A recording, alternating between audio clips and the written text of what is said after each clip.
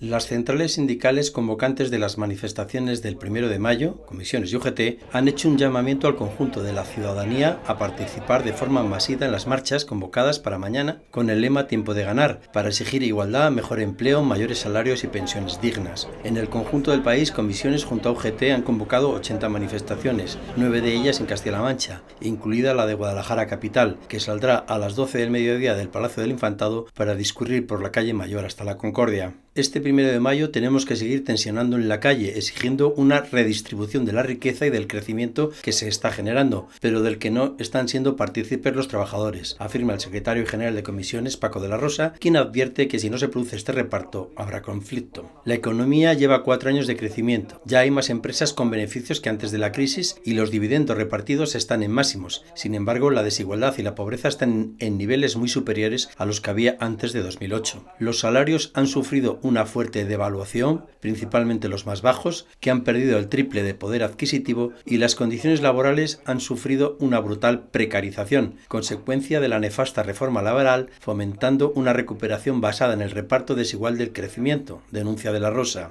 quien añade que hay que continuar luchando y ganando en la calle, porque solo con las movilizaciones masivas, como ha sucedido con las pensiones, se abrirán paso las reclamaciones sindicales, entre ellas la subida de los salarios.